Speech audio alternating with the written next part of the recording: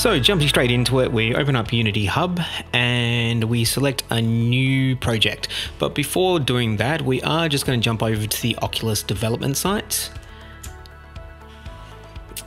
Just so we can look at which version of Unity we're going to go with. Uh, as of this video, 2020 has been out for a little while now but 2019 does have LTS now, which is long-term support. So it is the more stable version of Unity at the this time, and there's nothing really in 2020 that's going to help us out any um, anyway. And even if you look at the documentation, and we will be referring to the Oculus uh, developers documentation quite a bit throughout this series, you can see that um, the they do recommend 2018.4 or 2019.3. And obviously this hasn't been updated because there is LTS now for 2019.3.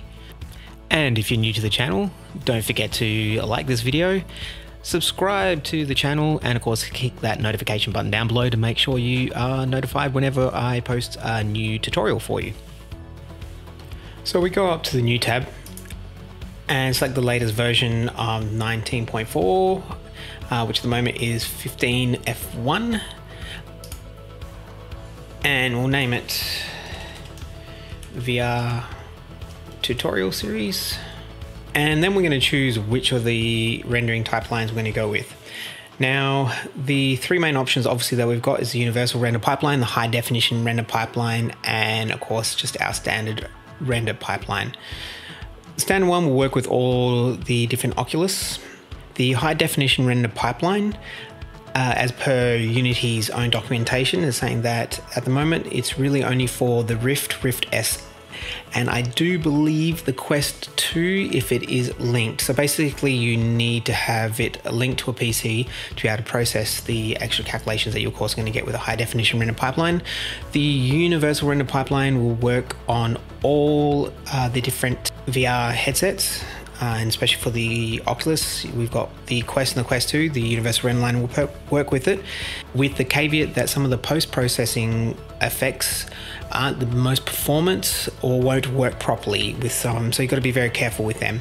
So for the moment, just to make things easy, we're just going to go with the Universal Render Pipeline and we click Create. Okay, so the first thing that we just need to do is we're going to create a new scene. And then we're going to clean up the folders in our project.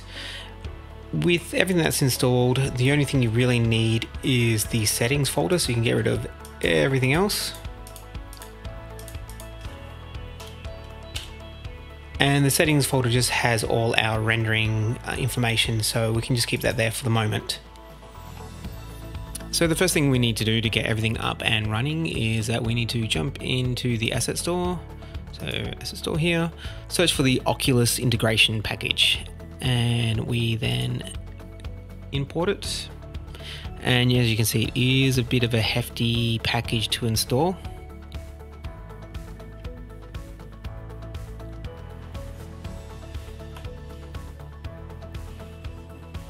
And once it's downloaded, we just click import.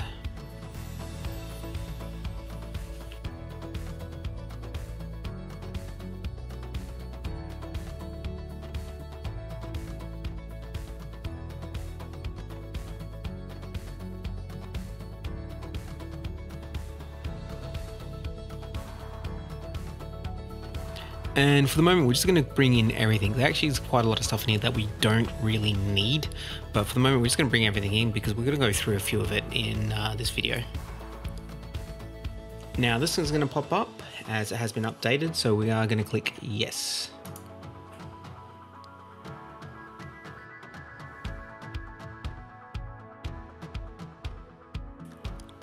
And we'll upgrade this one as well.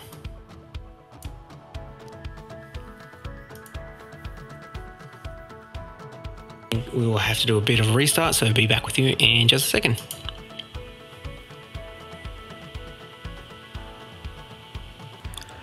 So if we look at our project, we'll see that a couple of new folders have appeared. Um, the resources folder, which we don't need to worry about for the moment, and the Oculus one, which has everything that we'll be using.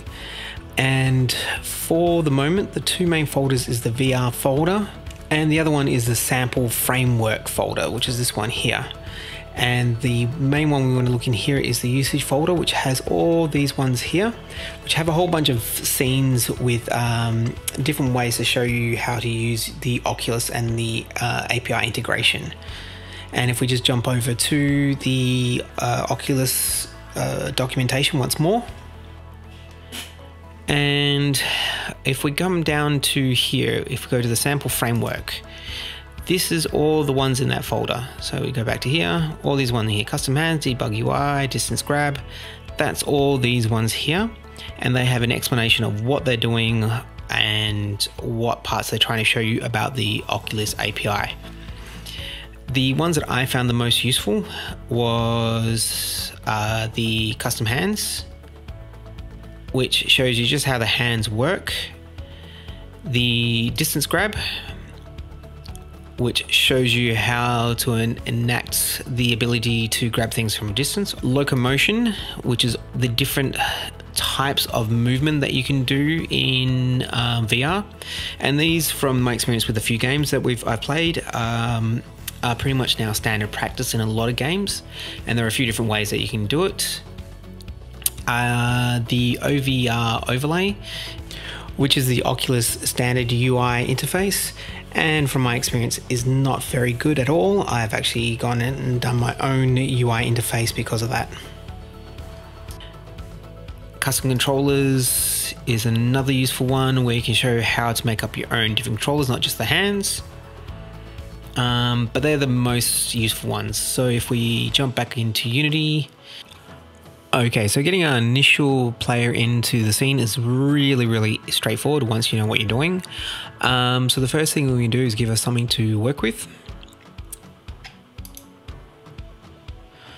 So just a plane and going with all this I'm assuming that you have an understanding at least a fundamental understanding of Unity I'm not going to go through the basics of movements and all that sort of stuff um, so here we're going to resize it, just give us a bit of area. Also going to add just a few objects in just to give us a little bit of perspective.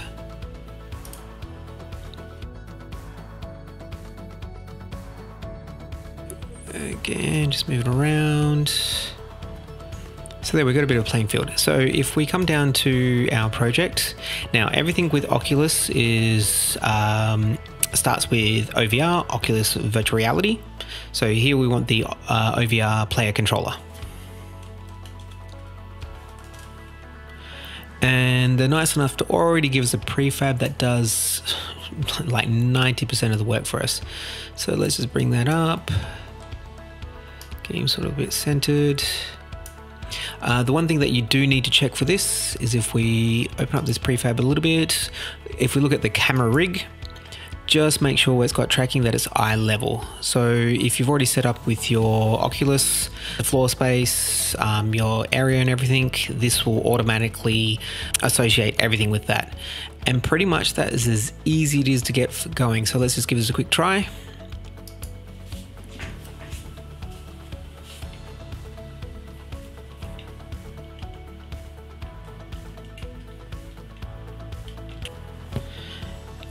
Just like that, we have a working scene already. Now, being able to walk around is awesome, but of course, it's not going to be much fun in VR without actually being able to interacting. So the first thing we need is a pair of hands. Now, when looking for hands, if we do OVR,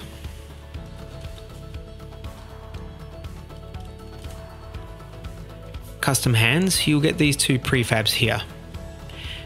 And if we open up the player controller, go to our camera rig again, and we've got our left hand and our right hand anchors.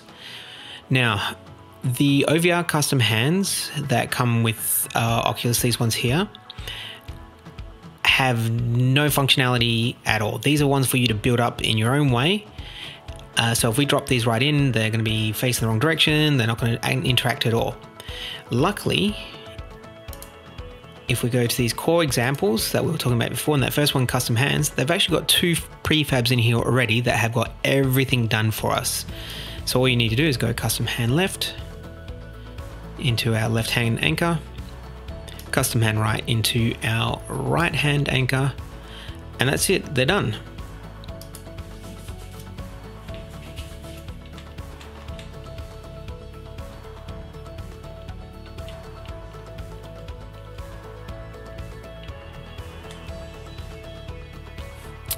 So as simple as that, we have our player controller in, we have our hands ready to interact with the environment. Very simple, very easy to go. Again, refer to the documentation if you have any further questions on those parts. Uh, if you want to be able to do any of the other sort of movements, there are plenty of documentation for you to go through. But other than that, we are all ready to go. In the next one, we will go through how to actually interact with the environment, uh, grabbing and stuff, and all that sort of things.